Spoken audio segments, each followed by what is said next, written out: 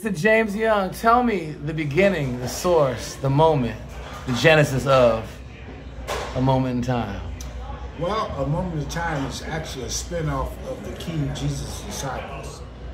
So, the King Jesus Disciples, uh, we were together for uh, the 80s, and around about, oh, I would say about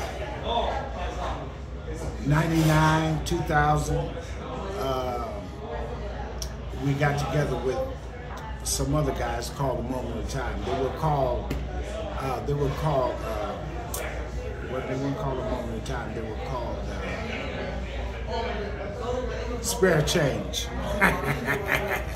they were called Spare Change. And so when, when the King Jesus disciples would perform, they would go somewhere else and perform. So people thought they were us. So I had to run these guys down to see what the real deal was. and then uh, uh, I found out they were sing, uh, some couple of guys singing, you know. And then we kind of collaborated and got together. And out of that, uh, we came up with uh, uh, a moment in time. What year was this? Um, And that was around probably 2000. I would say around 2000. You know, somewhere around there. And uh, we started singing all over the place. And we got a, you know, anytime you can find some brothers to come together and just sing a cappella. People love it. You know, that's a rare. That's a rare thing.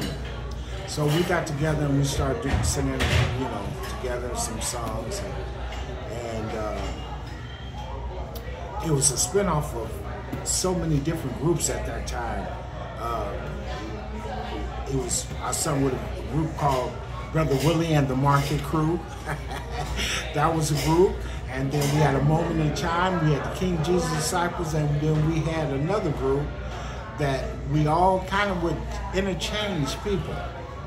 So uh, those were the good days. That was that was. Uh, each group had its own uh, element, enjoyed that. But like I said, back around 2000, somewhere around there. Uh, of course, now we we started singing way before then, back in the 80s. of course, yeah. Like in the 80s, we had uh, Brother Willie and uh, Roosevelt Franklin, and those two sung uh, duet for a while.